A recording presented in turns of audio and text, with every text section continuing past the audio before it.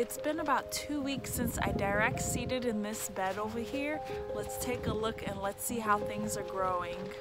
Everything is so tiny. It's hard to believe that all these little direct seeds are gonna turn into something big and yummy. It looks like the carrots are coming up. Wow. There's about 200 onions here and they are doing amazing little baby cilantros are coming up. Ooh, I think that's the purple radish. Kind of excited about that. I'll leave it in the ground. And a bunch of lettuces are growing.